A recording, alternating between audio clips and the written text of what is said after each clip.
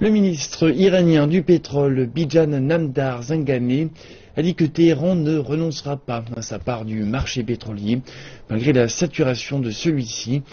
L'annonce intervient après l'accord sur une proposition d'entente de quatre pays producteurs de pétrole, s'accordant pour plafonner leur production de brut si les autres producteurs font de même.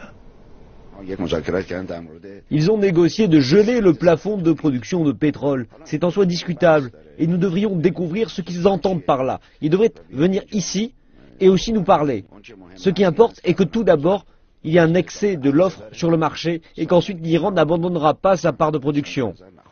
L'Iran dit qu'elle résistera à tout effort pour limiter sa production pétrolière et envisage à la place d'accroître sa production au niveau d'avant les sanctions.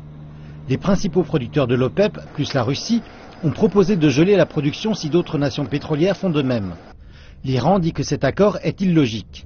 Elle entend accroître fortement sa production dans les mois à venir, alors qu'elle vise à regagner sa part de marché perdue après des années de sanctions internationales.